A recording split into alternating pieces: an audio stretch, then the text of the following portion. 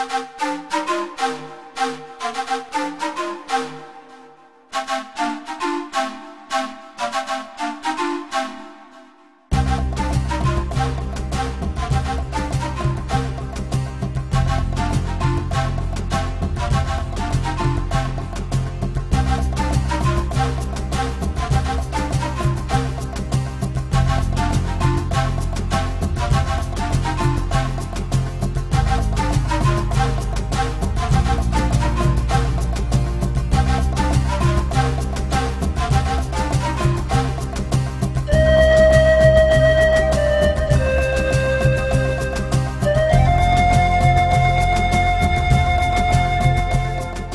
purpose on this Defending Sacred Places advocacy delegation is really threefold.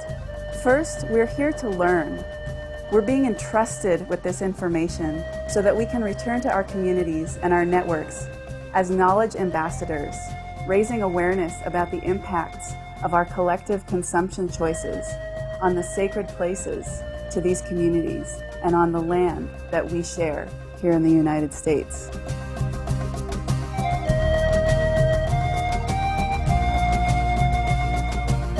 In Northern Nevada, we met with Carrie Dann, a longtime land rights activist and Western Shoshone elder, who showed us the devastating impact of gold mining on holy Mount Tenabo, which is home to local Shoshone creation stories, and which is now the site of one of the largest open pit cyanide heap leach gold mines in the United States.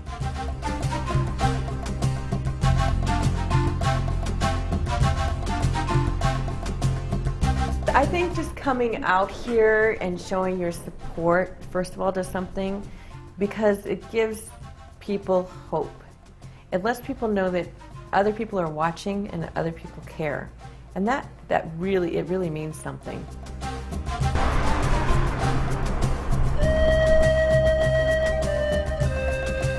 I've cared about this mountain for some time now, and I've been following the story, not showing up but it was time to show up. I want to remember those sen the sense memories of being here, and I want to take those back with me and be able to find a new way to communicate this to people, and I don't think I can do that without coming.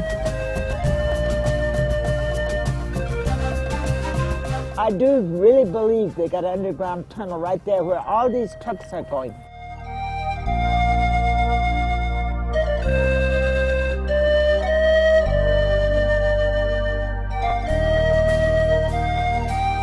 Doesn't it look awful? We're also here with the goal of mutual empowerment, that by coming together as women, as allies, as people who care so deeply and so passionately about this earth and about her people and about the preservation of sacred places for their own sake, that we can become stronger. Arizona, we are meeting with the Save the Peaks Coalition. And Jeneda Benally and her family and colleagues are working to protect the sacred San Francisco peaks from desecration by the use of sewer water to create artificial snow. What happens to her will affect us.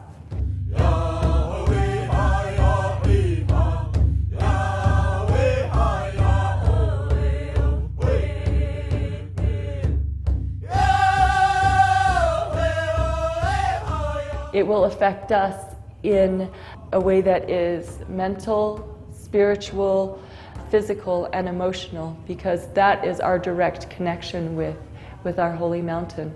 We're not give up yeah. while we're still here. Yeah. If you want to help us, it's good, yeah. We need help.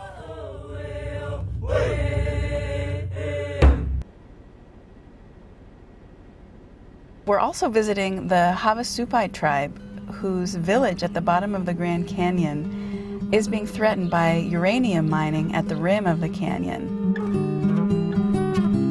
The sacred mountain to the Havasupai, called Red Butte, is located just three miles away from a proposed uranium mine. Red Butte is where the Havasupai perform their ceremonies and go for spiritual healing and renewal.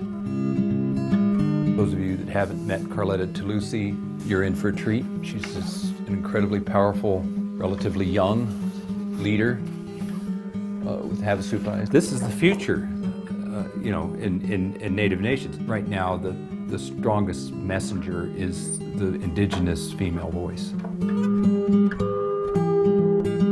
Not just concerned about the sacred mountain, uh, we're very concerned about the contamination of the water source. So we're talking about a huge contamination of lots of people.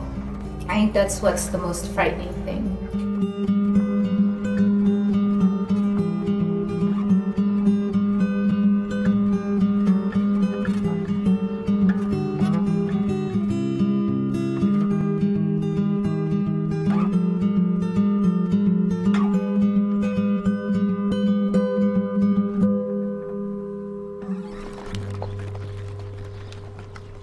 And finally, we're here in preparation for action.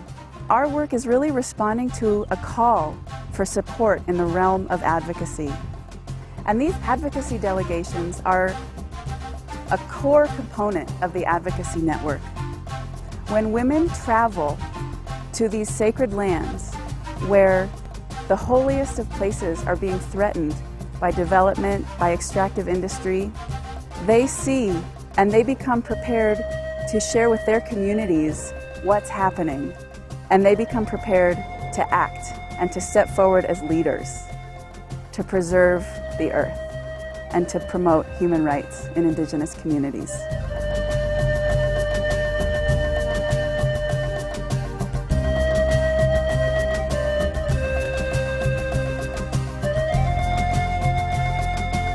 Oftentimes, when you think of the Native Americans, we think that it's a closed book, that all the damage that could ever be done has already been done, that there's nothing really more that we could do to help. And in fact, that's not true. It's these people are fighting every day and they need allies. Thank you so much for coming and thank you for your interest in this really important issue. Our team is investigating the question how can we advance our system of laws and policies and business practices to protect the sacred? To build a system that acknowledges human relationship to a living earth and which holds the sacred in the highest regard. We rely on, I call them our lifelines, and I would consider Women's Earth Alliance as one of those lifelines. What was it somebody told me the Dalai Lama said the other day? Women are going to save the world. Well, cool.